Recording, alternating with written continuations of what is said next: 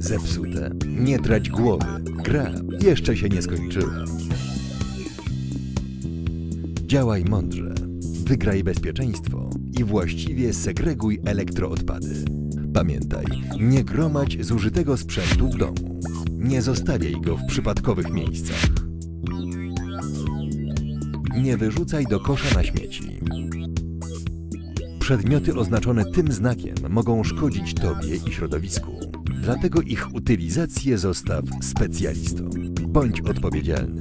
Elektroodpady zawierają rtęć, brom, a nawet azbest. Nigdy nie pozbywaj się ich na własną rękę. Zawsze oddawaj je do specjalnych punktów zbiórki.